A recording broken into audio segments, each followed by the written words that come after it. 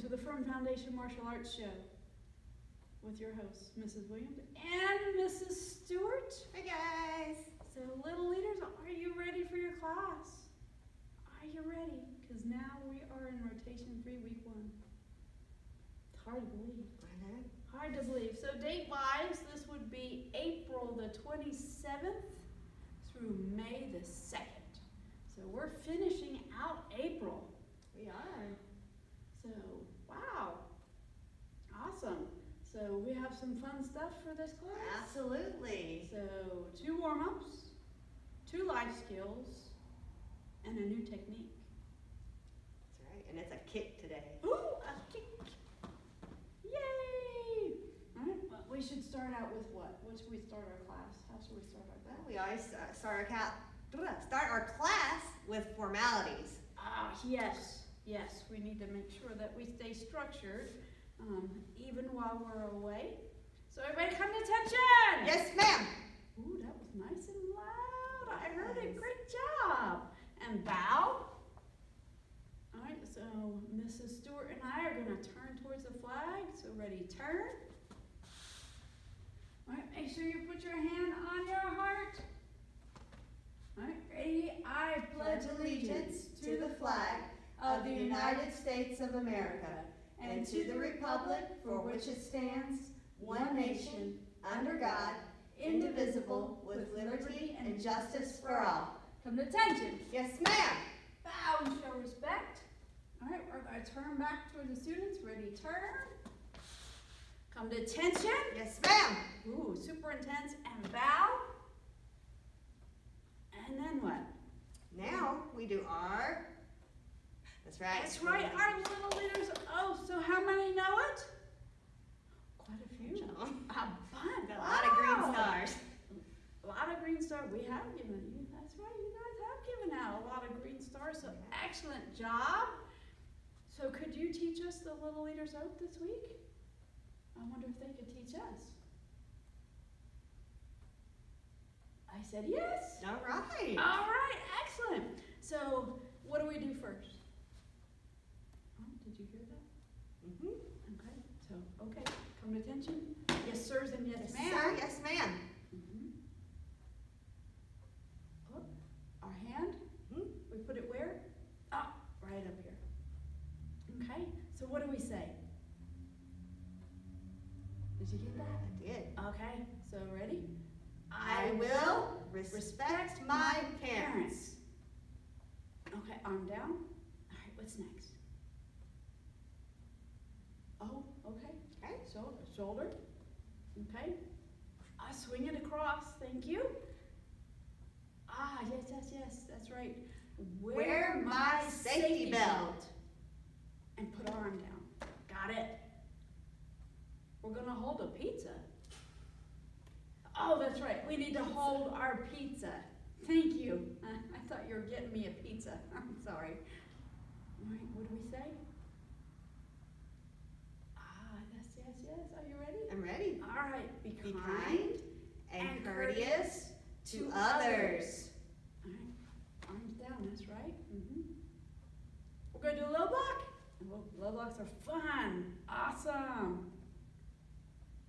Oh, are you ready? Ready? All right. To defend what is right. Thank you so much for helping us. Okay, arms down. Oh, hands together. Okay, that's right. Okay, we're going to show show love to, To my, my family, my country, and, and my God. God. Oh, fold fold our hand. Oh, our arms. Now, There we go. Okay, got it. Okay. And we go up like this. Up, and we say victory. Victory. Okay, oh, bring them back. All right.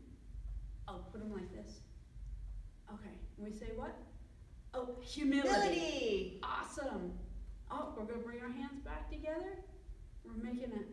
We get to make a big heart. Big. Awesome. Ready? All right. Oh, and we say courtesy. Okay. Courtesy. And then we oh, up, we bow. Bow. Yes, sir. Yes, ma'am. Thank you so Great much job, for guys. helping us with that. Fantastic job. Give yourselves a high five. We're gonna give your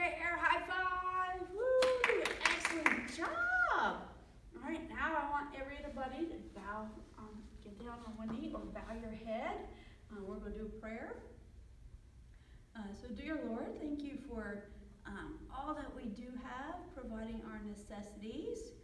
Uh, thank you for uh, sending all your healing power um, to those battling illness, uh, recovering from surgery and injury.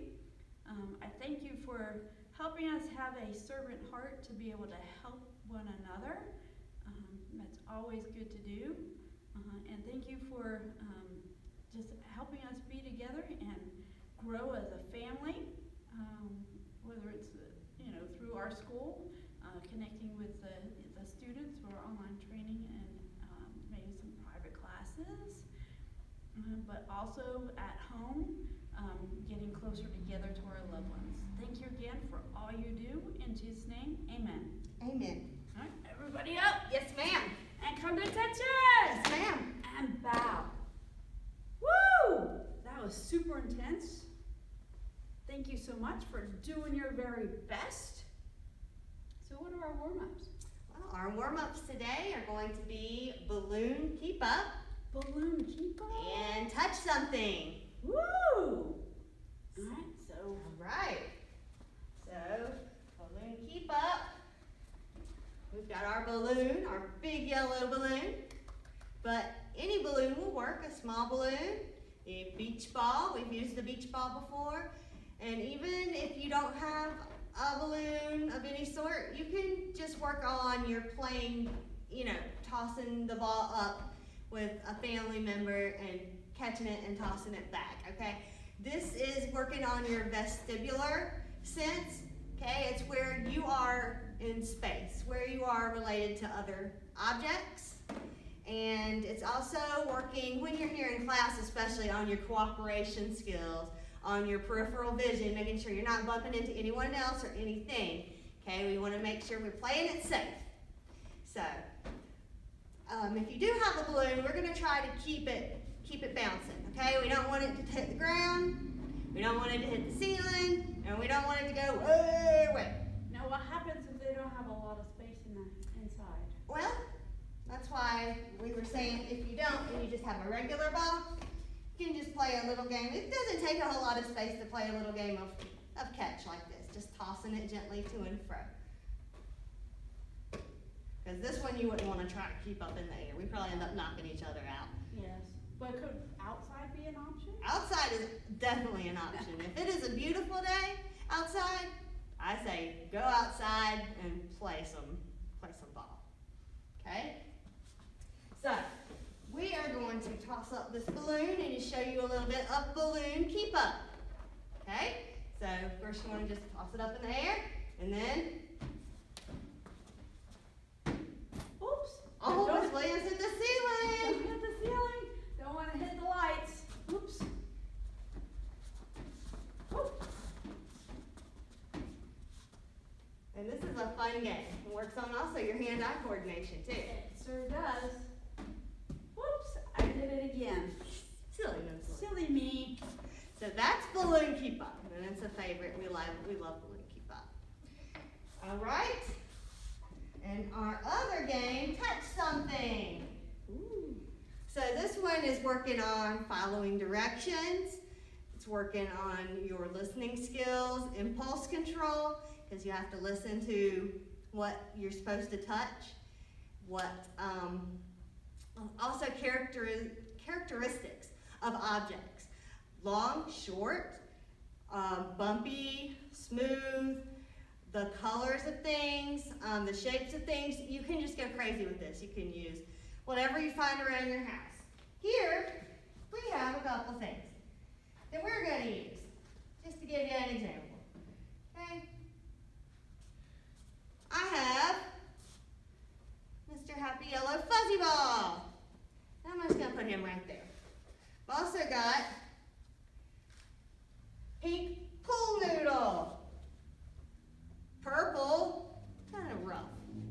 It's also kind of smooth, I guess, I don't know, depending. Purple ball, Little bumpy. little bumpy. Uh, let's see, we've already got something kind of short. How about this guy? This guy is super long red belt. The longest belt I've ever seen. okay. And, you can have multiple things. Like, you know, you don't have to just have one fuzzy thing. Let them have a couple options. So, okay. With this, I could say, Miss Williams, will you touch something round? Touch something that's in the shape of a circle. Something round. Something round? Mm-hmm. In a circle. Mm-hmm. Is it this one? It, no, that's kind of long. I thought it was round. This one, this one's round, isn't it? No! So what's round? Is that kind of round or is that more, not fully round? What, this one? I should touch this one? Awesome, thank you so much. That is, that is round. Do you know what color that is? Because it's my favorite color. That's right, purple. Good job. Okay. Miss Williams, you want to ask me one? So, Mrs. Stewart, I want you to touch something very long. Very long. I know this one. Let's see. I know the balls aren't long, so I've got this one or this one. Which one is very long?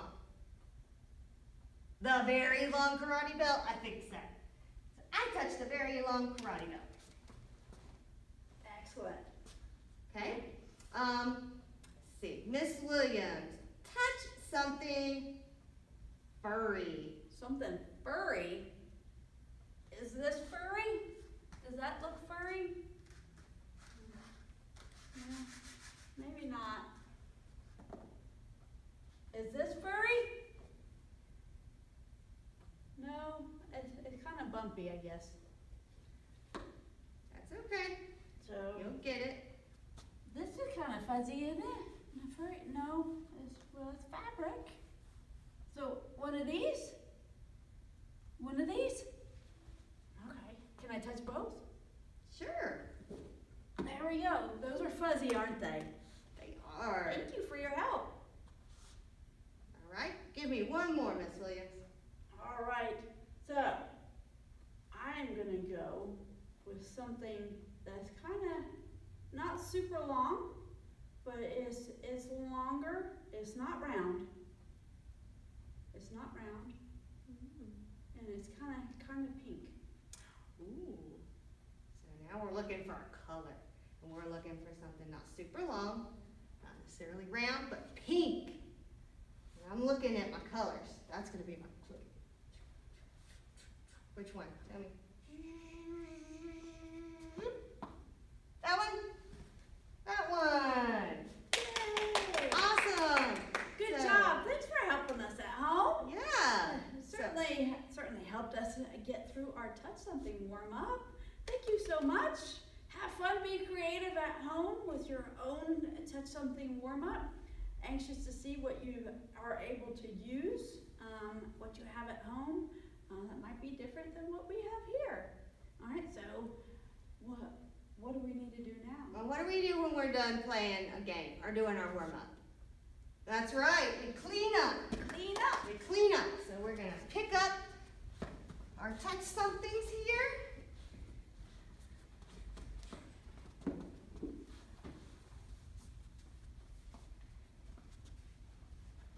Then we are going to work on our side kick. Ooh, a sidekick. Right, and this one is fun. So for our side kick, we are going to get into our guard stance. So first let's come to attention. Yes, ma'am. Good. And what we're gonna do is we're gonna take a leg, we're gonna bring it back behind us. Okay? And our feet are gonna be pointing a different way, okay? But our hands are gonna be up. So we're gonna be facing this way, but our feet are pointing this way. That's because a side kick is gonna use your foot, this part of your foot, and it's gonna come at you kind of sideways. Okay? So for our side kick, there's actually a couple parts. Okay, we talked about the four parts to a kick in class. It's probably been a couple months now. So if you missed that, we're going to go over that. So there are four parts to a good kick. And when you do them really fast, it's hard to tell that there are. But when you do them slow, it's very easy.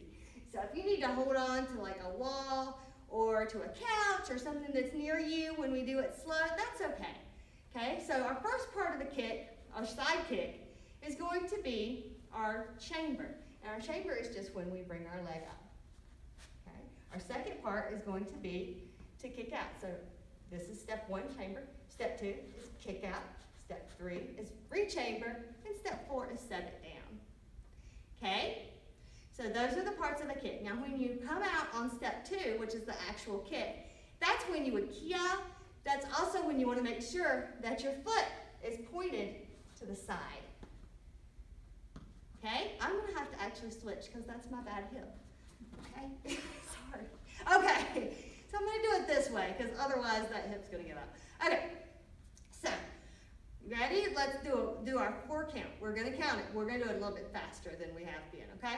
Ready? One, two, three, four. Good job, guys.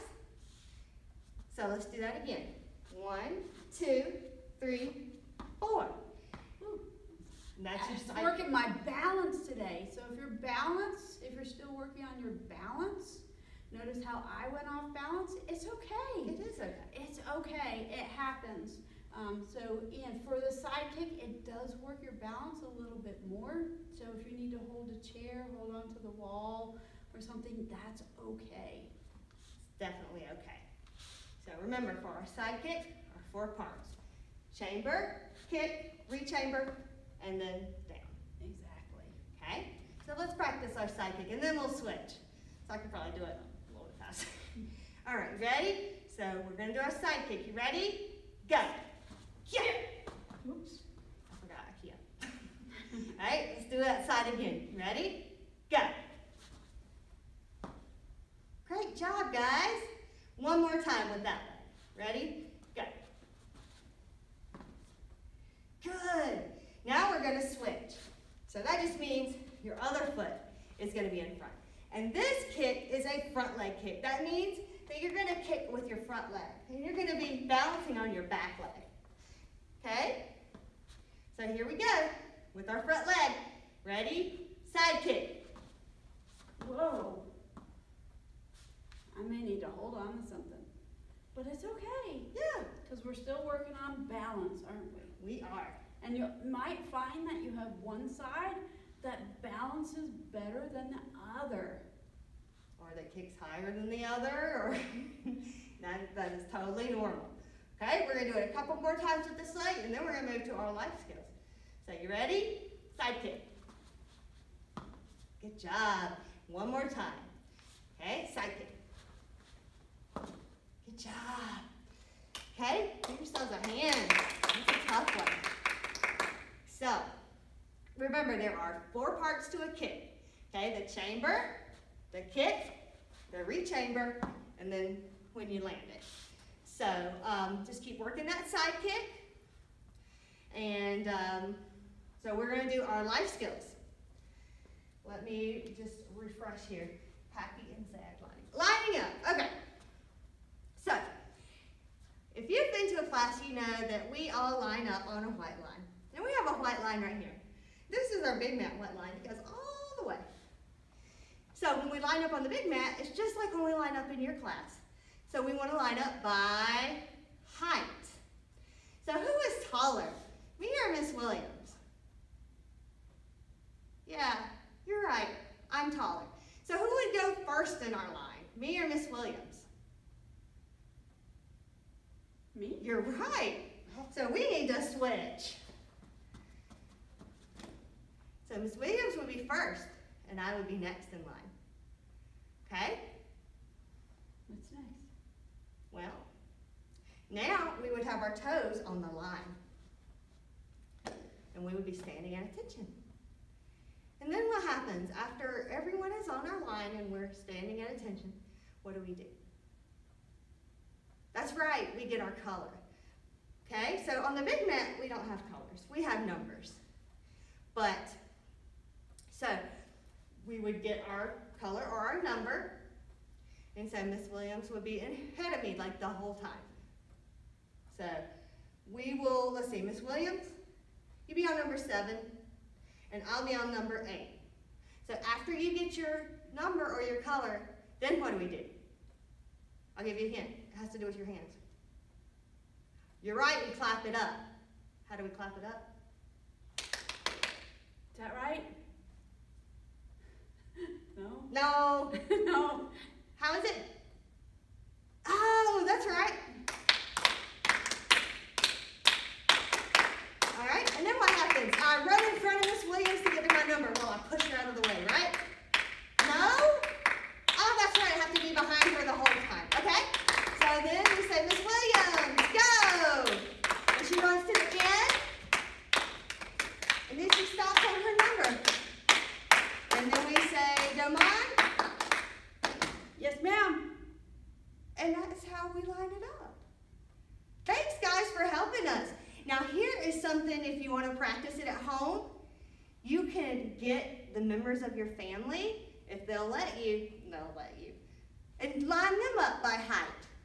Take a picture of your family lined up by height. Yeah? Let's see, let's see all of your lines. Okay? Great job, guys. Excellent. Proud of you. Thank you for helping. All right, and our next life skill is happy or sad. And it's pretty easy to tell, I think, when someone is happy or sad. Like we sang the song a couple weeks ago about emotions. If you're happy and you know it, if you're sad and you know it, if you're angry. But um, what are some things that make you happy? Yeah. Yeah, what about you, Miss Williams? What's something that makes you happy? Karate. Karate? Nice. Karate makes me happy too. Um, what are some things that make you sad?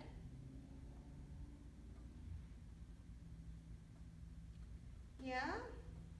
What about you? Being away from family. Being away from family? Definitely. So, how does it feel? Does it feel better to be happy or to be sad? Definitely right. Definitely feels better to be happy than to be sad. So, um, we are talking about those emotions and how they make you feel and how you can show that you're happy and how you can express that you're happy. And it's great to be happy and it's great to show that you're happy with your smile or jumping up and down or dancing. But is it safe to jump up and down and have like a dance party because you're so happy while you're driving down the road in your car? Yeah, it's not. You're right. So it's good to be happy when you're in the car, but you definitely it can it can be unsafe if you're doing that. So you want to definitely keep it keep it dialed into to the situation. And also, is it okay to hit people or kick people because you're sad and you want to be left alone? No, it's not. It's okay to say, I'm sad, I want to be alone. But it's not okay to hurt people because you're sad.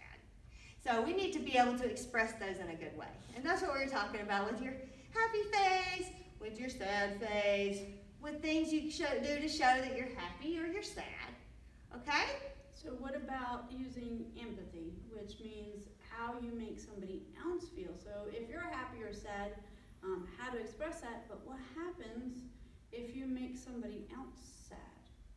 Or if you make somebody else happy, how do you think they're gonna feel? Well, if you make somebody else happy, they're going to feel, yeah. So, so what are some ways that you can make somebody else happy, like maybe your friend?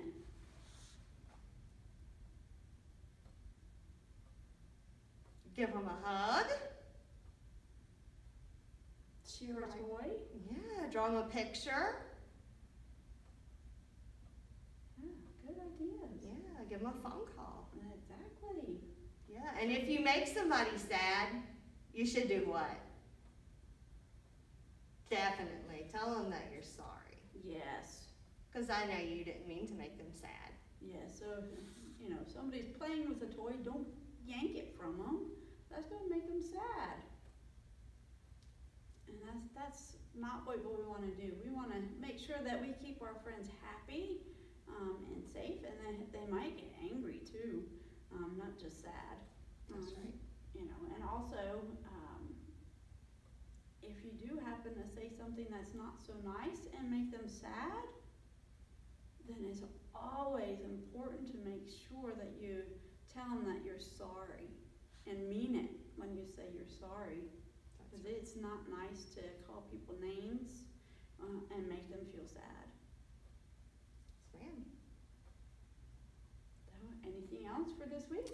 Um, no ma'am, just work on those side kicks. work on your four parts to your sidekick, uh, work on getting out there and getting your exercise, work on making people happy. And until I see you guys again, I miss you, and I hope I see you soon. Yeah, we miss, we miss everybody, but yes, little leaders, we certainly have missed uh, seeing you come into class. So if there's nothing else, then everybody needs to come to attention. Yes, ma'am. Ah, good job. And bow.